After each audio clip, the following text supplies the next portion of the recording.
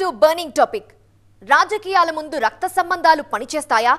No doubt no way అన్నది చరిత్ర చెప్తున్న సత్యం. నడుస్తున్న చరిత్ర చూపిస్తున్న దృశ్యం. పెద్దింటి రాజకీయ కలహం సిద్ధాంతాల కోసం పుట్టిందా? లేక అధికారం కోసం పుట్టించిందా? తెలుసుకుందాం ఇవాల్టి బర్నింగ్ టాపిక్లో హాట్ హాట్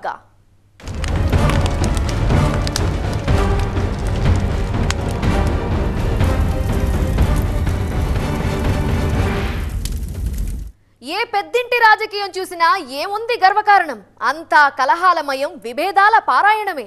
మామూలుగా మన వసుదైక కుటుంబంలో రక్త సంబంధాలకు విలువ ఎక్కువ. కానీ అటువంటి బంధాల్లో కూడా బీటలు తెచ్చేస్తోంది మన రాజకీయం.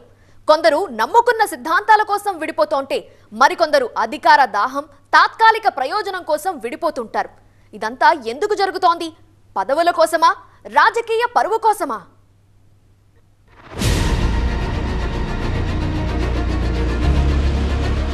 రాజకీయమా రాజకీయమా నువ్వేం చేస్తావు అంటే హరిశ్చంద్రుడి చేత అబద్ధాలాడిస్తాను.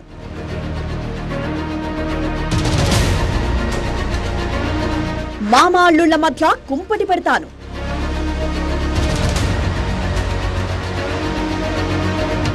అత్తా కోడల మధ్య ఆరని మంటనవుతాను.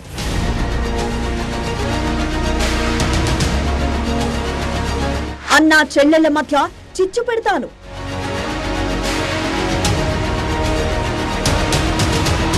తండ్రి బిడ్డలను విడదీస్తాను.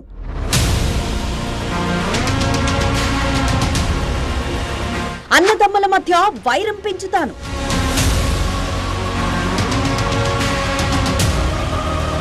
అసలు రక్త సంబంధాల కంటే తానే గొప్ప అని నిరూపిస్తాను అన్నదట రాజకీయం.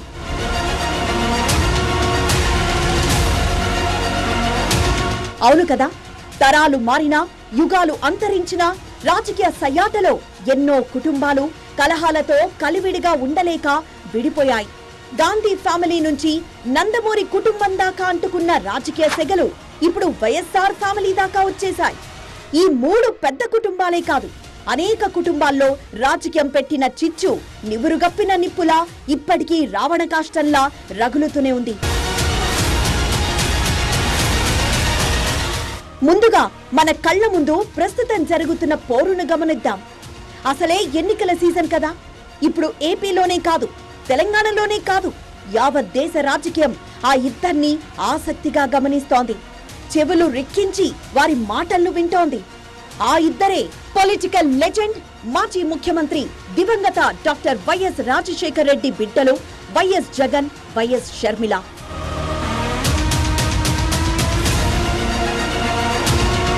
ఏపీ ముఖ్యమంత్రి వైఎస్ జగన్ ఆయన చెల్లెలు షర్మిల.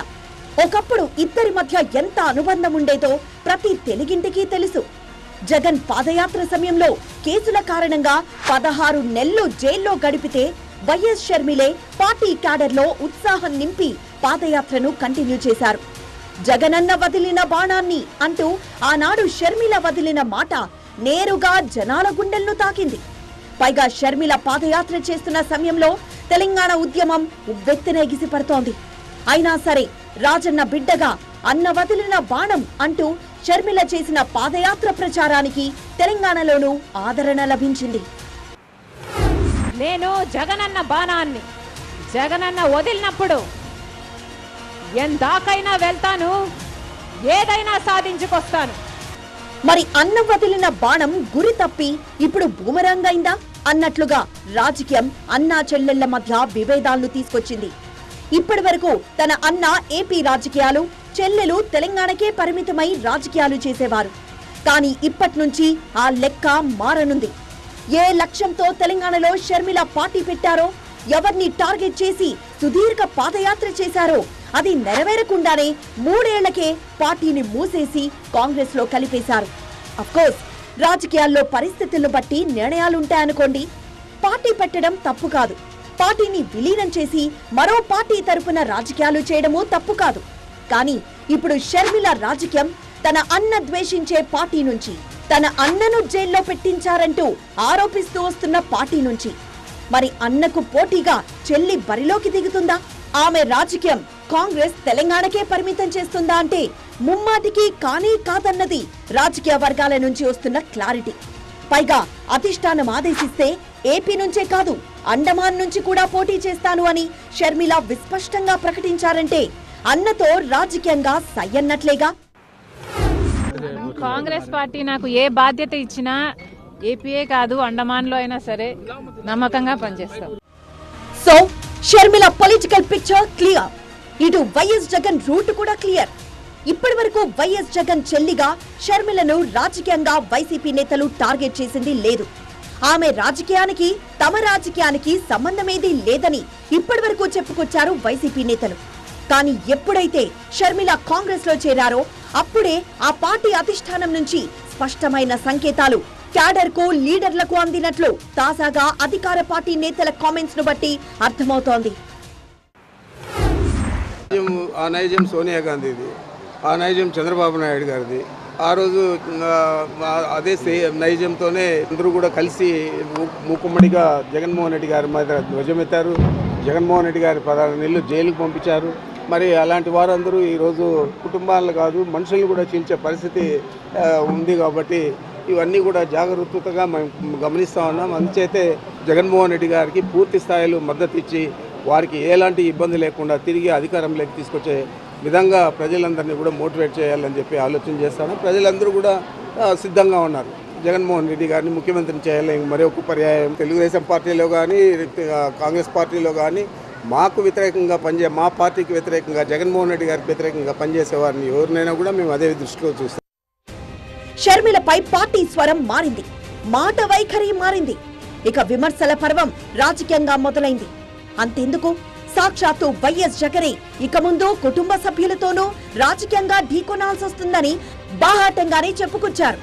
ఇక నుంచి కుట్రలు కుతంత్రాలు ఎక్కువ అవుతాయని కుటుంబాల్లోనూ చీలక తీసుకొచ్చే రాజకీయాలు చూడబోతున్నారంటూ జగన్ చెప్పడం వెనక షర్మిలనుద్దేశించే అన్నది రాజకీయంగా వినిపిస్తున్న అభిప్రాయం.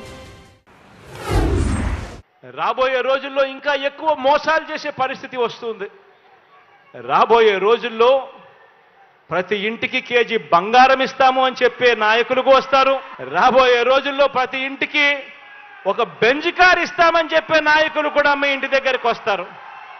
రాబోయే రోజుల్లో కుట్రలు ఎక్కువ జరుగుతాయి కుతంత్రాలు ఎక్కువ జరుగుతాయి కుటుంబాలను అడ్డగోలుగా చీల్చే కార్యక్రమాలు కూడా జరుగుతాయి.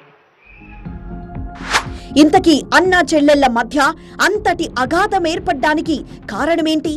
రాజకీయాలు అన్న చెల్లెళ్ళ మధ్య చిచ్చు పెట్టాయా? అంతకు మించిందేదైనా ఉందా? అనిల్ కుమార్ కారణంగానే విభేదాలొచ్చాయా అంటే ఎవ్వరూ కరెక్ట్గా సమాధానం చెప్పలేని పరిస్థితి. కానీ వైసీపీ అధికారంలోకొచ్చాక రాజకీయంగా తనకు తగిన ప్రాధాన్యత ఇవ్వలేదని షర్మిల అలిగారన్నది సన్నిహిత వర్గాల నుంచి వినిపించే మాట. కారణం ఏమైతేనేం?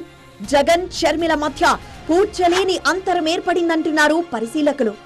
అయితే అంత అంతరం ఏర్పడితే తన కుమారుడు పెళ్ళికి స్వయంగా షర్మిల వెళ్ళి అన్నను ఎందుకు ఆహ్వానిస్తారు అన్న వాదన ఉంది.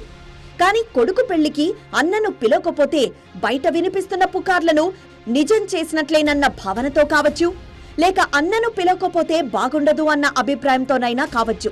మొత్తానికి షర్మిల వెళ్ళి అన్నను కుమారుడి పెళ్ళికి పిలిచారు. ఓవైపు అన్న మరోవైపు అక్కున చేర్చుకున్న పాటి ఈ పరిస్థితుల్లో రక్త సంబంధానికి మద్దతివ్వాలా? లేక తన కర్తవ్యాన్ని నిర్వర్తించాలా? కుటుంబానికి ప్రాధాన్యత ఇస్తే పార్టీ లైన్ దాటినట్లవుతుంది. అదే రాజకీయ ప్రయోజనాలు చూస్తే బంధుత్వాన్ని విస్మరించినట్లవుతుంది. ఇది ప్రస్తుతం షర్మిల పరిస్థితి. అయినా ఇందులో తప్పేముంది? ఓ కుటుంబంలో అన్నా చెల్లెళ్ళు వేరే వేరే పార్టీలో ఉండడం ఇదేమీ మొదటిసారి కాదు కదా? ఆ మాటకొస్తే తల్లి కొడుకులు భార్యాభర్తలు తండ్రి కొడుకులు కూడా భిన్నమైన పార్టీల్లో కొనసాగిన ఉదంతాలు లేవా? ఆస్తుల కోసం వేరుపడిన కుటుంబాలు లేవా? అంతెందుకు?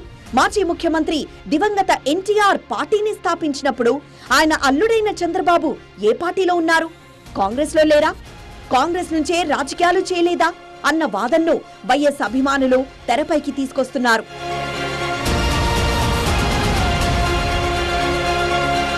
అవును వైఎస్ అభిమానుల పాయింట్ కరెక్టే కదా.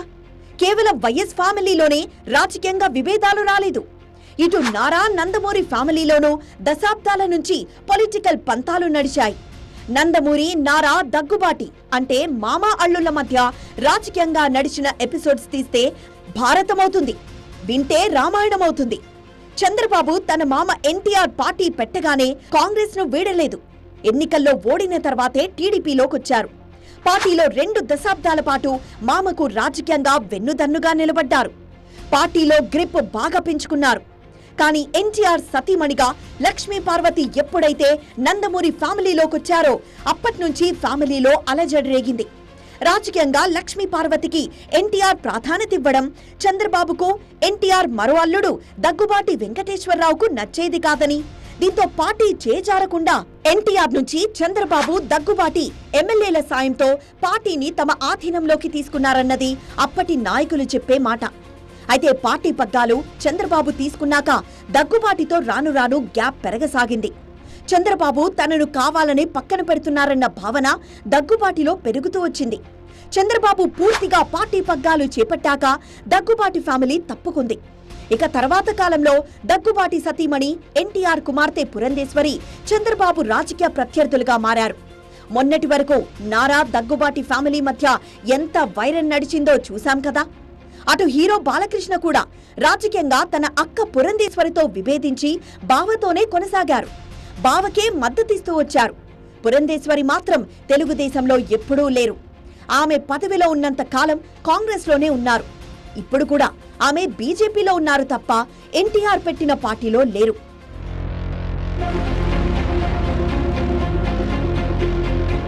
ఇటు ఎన్టీఆర్ మరో కుమారుడు హరికృష్ణ కూడా మొదట్లో చంద్రబాబు వెంట నడిచిన తర్వాత కాలంలో విభేదాలొచ్చి పార్టీని స్థాపించారు.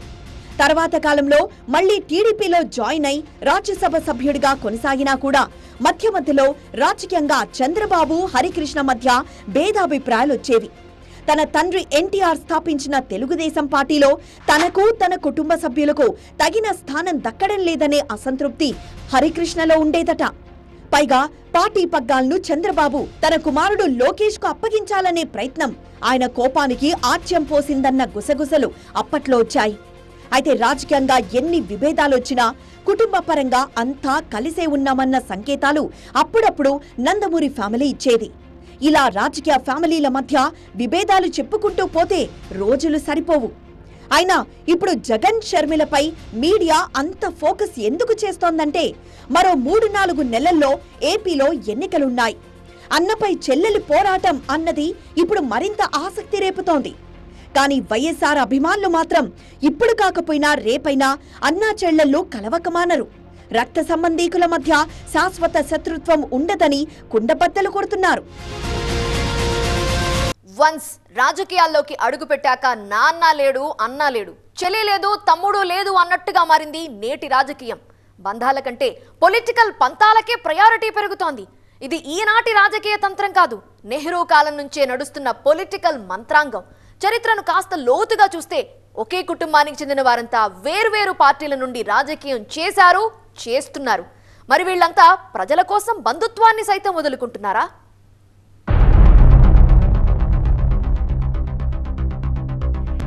కుటుంబాల మధ్య రాజకీయ విభేదాలు ఇప్పటికిప్పుడు పుట్టుకొచ్చినవి కాదు. నెహ్రూ హయాం నుంచే కొనసాగుతూ వస్తున్నాయి. ఇందిర హయాం నుంచే విభేదాలు తొంగి చూశాయి. ఇందిర కుమారులైన సంజయ్ గాంధీ రాజీవ్ గాంధీల మధ్య రాజకీయంగా గాని వ్యక్తిగతంగా గాని విభేదాలొచ్చిన దాఖలాలైతే లేవు. కానీ విమాన ప్రమాదంలో సంజయ్ గాంధీ మరణించిన తర్వాత ఇందిరా లుకలుకలొచ్చాయి. మామూలుగా ఇందిరా గాంధీకి పెద్ద కోడలు సోనియా గాంధీ అంటే ఎక్కువ అభిమానం. అయినా కొడుకు మరణం తర్వాత మేనకను చేరదీసే ప్రయత్నం చేశారట. అయితే ఇందిరకు మేనక సన్నిహితం కాలేకపోయారు. ఇంటి వ్యవహారాల్లో సోనియాదే పైచేయిగా ఉండేది. మేనకకు మంచి రాజకీయ పరిజ్ఞానం ఉండడంతో రాజకీయ వ్యవహారాల్లో మాత్రం ఆమె అభిప్రాయాలను ఇందిర పరిగణలోకి తీసుకునేవారట కూడా. ఒకానొక దశలో మేనకనే రాజకీయంగా సహాయకారిగా ఉండాలని ఇందిర భావించారట. కానీ మేనక మాత్రం రాజీవ్ గాంధీ వ్యతిరేక వర్గంలో ఉంటూ సంజయ్ విచార్ మంచి నెలకొల్పారు. ఇందిర ఆదేశాలను మేనక ఏమాత్రం లెక్క చేసేవారు కాదట. అందుకే ఇందిర మేనకను ఇంటి నుంచి బయటకు గెంటేశారన్నది చరిత్రకారులు చెప్పే మాట. చరిత్ర అంతా చూస్తే మానవ చరిత్ర అధికారం సొంత జీవితం. ఇవి వచ్చినప్పుడు తల్లి తండ్రి ఎవరు ఏమి సంబంధం లేదు. ఇప్పుడు జరిగేది రాజకీయంలో ఏంటంటే రక్తాలు కక్కట్లేదు కానీ అధికారం పదవి కేసులు పెట్టుకుని ఎదరవాడు ఎలా వెళ్ళిపోయినా పర్వాలేకుండా చూస్తున్నాం చేస్తున్నారు. ఎవరిలా లేరు సొంత కుటుంబంలోనే ఇందిరాగాంధీ ఆయన చెల్లెలతో అక్కలతో ఎవరితో మాట్లాడేది కాదు సంబంధాలు పోయినాయి. అలాగే పంతొమ్మిది వందల ఎనభై ఒకటి నుంచి సోనియా గాంధీకి ఏమో తోటకోడలు మేనకా గాంధీకి మాటలు లేవు. వేరే రాజకీయ పార్టీలు ఉన్నారు. కొన్ని సంవత్సరాల క్రితం వరకు తిట్టుకుంటూ ఉండేవారు. అది ఎదురు బాల్ ఠాకరే కొడుకు బాల్ ఠాకరే అడాప్ట్ చేసిన కొడుకు ఠాకరే రాజ్ ఠాకరేకి సంబంధాలు లేకుండా రాజకీయాలు జరుగుతున్నాయి. రక్త సంబంధం ఉన్న వాళ్ళని అధికారం దగ్గర లేకుండా చేయటానికి అన్ని పనులు చేసేవారు. అది రాజకీయంలో ఇవాళ కూడా జరుగుతుంది. అప్పటి నుంచి సోనియా గాంధీ మేనకా గాంధీ మధ్య రాజకీయంగా జరుగుతున్న వైరం ఇప్పటికీ కొనసాగుతోంది. అలాగే ఆ వైరం గాంధీ వారసులు రాహుల్ గాంధీ వరుణ్ గాంధీ అంటే మూడో తరం వచ్చినా కంటిన్యూ అవుతోంది. మేనక గాంధీ ఆమె కుమారుడు వరుణ్ గాంధీ బీజేపీలో కొనసాగుతూ తన తోటి కోడలు సోనియాపై ఛాన్స్ వచ్చినప్పుడల్లా మేనక రాజకీయంగా విమర్శలు చేస్తూ వచ్చారు. ఇక మహారాష్ట్రలో ఠాక్రే వంశీయుల్లోనూ రాజకీయ గలాట ఇప్పటికీ కొనసాగుతోంది. ఠాక్రే కుటుంబంలోనే చిచ్చురేగింది. తనకు రాజకీయంగా ప్రాధాన్యత లేదన్న ఆక్రోశంతో రెండు వేల ఐదులో శివసేన నుంచి రాజ్ ఠాక్రే వేరుపడి మహారాష్ట్ర సేవ్ నిర్మాణ సేవ పార్టీని ఏర్పాటు చేశారు. మన తెలుగు రాష్ట్రాలకొస్తే నారా నందమూరి దగ్గుబాటి వైఎస్ఆర్ ఫ్యామిలీ వార్ తర్వాత మెగా ఫ్యామిలీలోనూ ఆ మధ్య కాసింత రాజకీయ విభేదాలు కనిపించాయి. ప్రజారాజ్యం పార్టీ స్థాపించిన మెగాస్టార్ చిరంజీవి పార్టీ అనుకున్నంత విజయం సాధించకపోవడంతో కాంగ్రెస్లో విలీనం చేశారు. ఈ విలీనం తమ్ముడు పవన్ కళ్యాణ్కు నచ్చలేదు. ఆ సమయంలో కొన్నాళ్ళు అన్నకు దూరంగా కూడా ఉన్నారు పవన్. తర్వాత తనే సొంతంగా జనసేన పార్టీని ఏర్పాటు చేసి రాజకీయాల్లోకొచ్చారు పవన్ సొంత పార్టీ పెట్టడం కూడా చిరంజీవికి ఆనాడు నచ్చలేదన్న వార్తలొచ్చాయి. ఇలా రాజకీయంగా ఇద్దరు అన్నదమ్ముల మధ్య విభేదాలు కొన్ని రోజులు కనిపించినా తర్వాత రక్త సంబంధం ముందు రాజకీయ బంధం కొట్టుకుపోయింది. ప్రస్తుతం పవన్ మాత్రమే రాజకీయాల్లో కొనసాగుతున్నారు. కేసీఆర్ కుటుంబంలోనూ వారసత్వం విషయంలో అసంతృప్తి కనిపించిందనే ఊహాగానాలొచ్చాయి కానీ ఎక్కడా బయటపడలేదని చెప్పొచ్చు. మంత్రులు కేటీఆర్ హరీష్ రావు ఎంపీ కవిత మధ్య వారసత్వ పోరు కనిపించిందనే వాదనలు వినిపించాయి. కానీ కేటీఆర్ పేరు తెరపైకొచ్చాక వారసత్వ పోరు చల్లబడింది. ఆనం సోదరుల మధ్య కూడా రాజకీయాలు చిచ్చుపెట్టాయి. అప్పట్లో ఆనం రామనారాయణ రెడ్డి వివేకానంద రెడ్డిలో తెలుగుదేశం పార్టీలో ఉంటే ఆయన సోదరుడు ఒకరు వైఎస్ఆర్ కాంగ్రెస్ పార్టీలో చేరారు. ఇలా ఆనం సోదరుల మధ్య నిత్యం రాజకీయ యుద్ధం రగిలేది. ఇక కేసినేని నాని చిన్ని మధ్య రాజకీయ వైరం రోజురోజుకు పీక్స్కు చేరుతోంది. దశాబ్దాలుగా ఒక్కటిగా ఉన్న కేసినేని నాని సోదరుడు చిన్ని రాజకీయ కుట్రల కారణంగా అడ్డంగా చీలిపోయారన్నది స్థానికంగా వినిపించే మాట. రెండు వేల పంతొమ్మిది ఎన్నికల్లో నాని వైసీపీ వేవ్లోనూ ఘన విజయం సాధించారు. కానీ గెలుపులో చిన్ని కృషి ఉందన్నది స్థానిక రాజకీయ వర్గాలు చెప్పే మాట. కానీ ఎన్నికల తర్వాత తనకు వ్యతిరేకంగా చిన్ని పనిచేస్తున్నాడన్న అనుమానం నానిలో బలపడసాగింది. ఆ అనుమానం పోలీస్ స్టేషన్లో ఫిర్యాదు చేసుకునేదాకా వెళ్ళింది. తర్వాత నాని తన కుమార్తె వివాహం చేసినా చిన్నిని ఆహ్వానించలేదు. అంటే ఆ స్థాయిలో ఇద్దరి మధ్య విభేదాలు రగులుకున్నాయి. ఇక రెండు రోజుల కిందట పరస్పరం దాడులు చేసుకునేదాకా వెళ్ళింది అన్నదమ్ముల మధ్య రాజకీయ రచ్చ.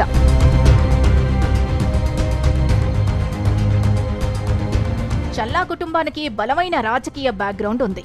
రామకృష్ణారెడ్డి ఎమ్మెల్సీగా ఉంటూ చనిపోవడంతో ఆయన చిన్న కుమారుడు భగీరథ రెడ్డిని ఎమ్మెల్సీని చేసింది వైసీపీ అధిష్టానం. భగీరథ రెడ్డి కూడా పదవిలో ఉండగానే చనిపోవడంతో రాజకీయ వారసత్వం నుంచి కుటుంబ ఆస్తుల వరకు సమస్యలు తలెత్తాయి. అవుకు జెడ్పీటీసీగా ఉన్న భగీరథ రెడ్డి భార్య శ్రీలక్ష్మిని రాజకీయ వారసురాలిగా నిలదొక్కుకోవాలని చూస్తున్నారు. ఈ అంశంలో చల్లా కుటుంబం నుంచి తీవ్ర ప్రతిఘటన ఎదురవుతోంది. చల్లా రామకృష్ణారెడ్డి పెద్ద కొడుకు విఘ్నేశ్వర్ రెడ్డి పొలిటికల్ వారసుడిగా ఉండాలనే డిమాండ్ కుటుంబ సభ్యుల నుంచి వినిపిస్తోంది. ఈ విషయంలో గొడవలు ముదిరి పలుమార్లు రెండు వర్గాలు దాడులు చేసుకున్నాయి. ఇలా దేశవ్యాప్తంగా అనేక రాష్ట్రాల్లో ఇలాంటి ఇంటింటి రాజకీయం నడుస్తూ వస్తోంది. ఈ పోరులో రక్తాలు కారడం లేదు కానీ రక్త సంబంధాలకు విలువ లేకుండా పోతుందన్న ఆందోళనైతే కలుగుతోంది. రక్త సంబంధాలకు విలువ లేకుండా పోతుందన్న ఆందోళనైతే కలుగుతోంది. పదవి అధికారం కోసం సొంత కుటుంబీకుల మధ్య విభేదాలు రావడం కుటుంబ విలువల్ని ఒకంత తగ్గిస్తుందన్న అభిప్రాయం వ్యక్తమవుతోంది. మరి ఈ కుటుంబాల మధ్య ఈ రాజకీయ వైరం ఎందాకా వెళుతుందో చూడాలి.